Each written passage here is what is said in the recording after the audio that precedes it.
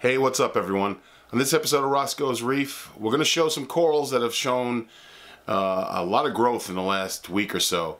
And also, we got a special announcement for an upcoming series that is going to be coming up this week. So stay tuned.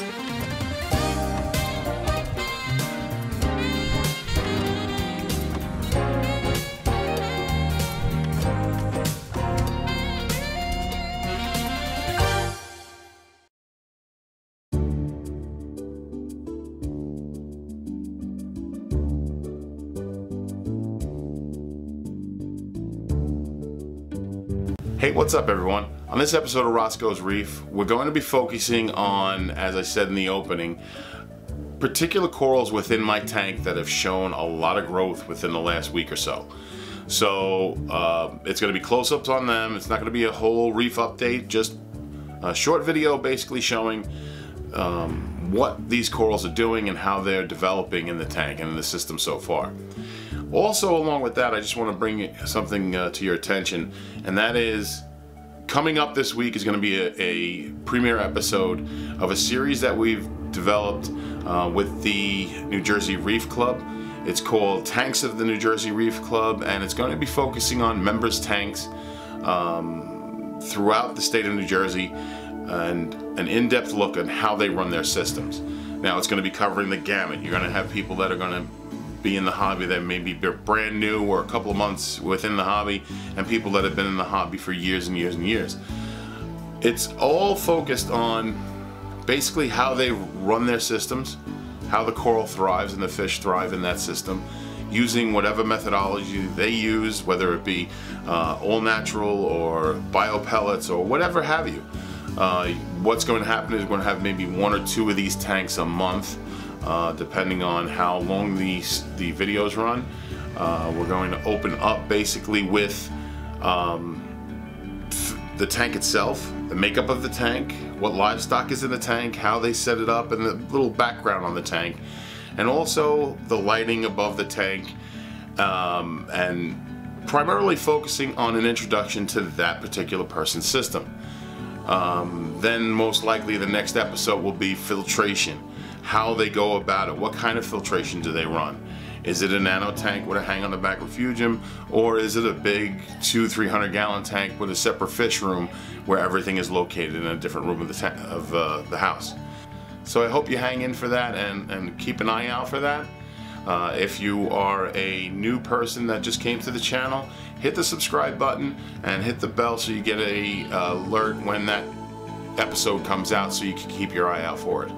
If uh, you're returning to the channel and you are a subscriber, hit the bell and make sure you get the uh, notification when that episode comes out.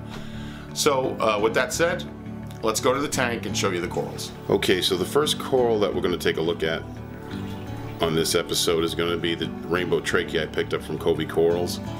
Um, I noticed in the about a week ago when I fed this coral, it has two individual mouths that it feeds from, and it's probably about the size of the bottom of a mayonnaise jar. Uh, it's, it's quite broad across, and it's taken off in the tank, and it likes what's where it is and the and the flow it's getting. Uh, the second coral, believe it or not, is the Fungia plate that has turned a deeper green with different shades of green and has really expanded somewhat in the tank. This area of the tank up here, uh, which is the overflow, you can see the purple digis really taking off. And the Hollywood stunner chalices are really growing immensely. One surprise is the red digi that um, work has been I've been working really hard over the last couple weeks so I really haven't been able to pay attention to this part of the of the return and you can see it's spreading and it has encrusted on the return itself and has really blown up in the tank. So that's really a, a good sign because I, I didn't want the purple digi uh, dominating this um, tower. I wanted to get some more color and the red digi's doing that. Now another coral that's really doing well is the uh, the red Monty Cap you can see how it's spreading up towards the surface of the water. It's really gotten big and it's really started to encrust on this rock. Um, so I'm really, really proud because I want this to be a showpiece in the tank and one of the centerpieces. The red Setosa coral is really doing well and you can see how more or less all the branches are starting to blend into one. It started out as four individual frags and they've all come together to form this cluster and uh, the polyps are really extending well. Now the green encrusting Monty is doing the same as the Monty cap. You can see in areas uh, right there in the back and also underneath it, um, it's really encrusting onto the rock and it's taking over that whole corner. So the growth again from this has been stunning over the last two weeks. Um, the explanation could be that I did a very big water change on it that I usually don't do. I replaced about 35 gallons of water in this tank at one time, so um, there may be something into the fact that a larger water change uh, does better for my tank than say uh, 10 gallons every other week.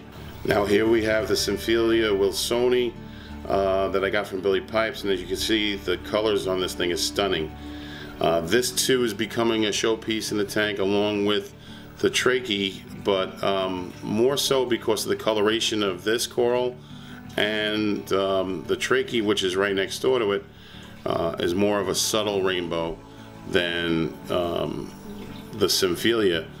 But again, this is becoming a very stunning piece of the tank and the growth rate over the last two weeks has been outstanding. Now the last coral that we're going to deal with is the uh, Jason Fox Barney coral.